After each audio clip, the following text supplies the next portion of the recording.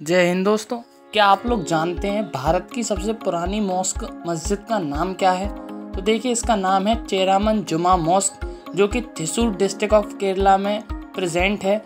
629 AD में इसको बनवाया गया था। चेरा डायनेस्टी के जो राजा थे, चेरामन पुंजावल, उनके द्वारा इस मस्जिद को बनवाया गया था। तो ये आपके पेपर पॉइंट ऑफ़ व्यू से बहुत इंपॉर्टेंट क्वेश्चन है। आपको अगर ये शॉर्ट पसंद आई है तो प्लीज़ इस वीडियो को लाइक करिए और हमारे चैनल को सब्सक्राइब करिए।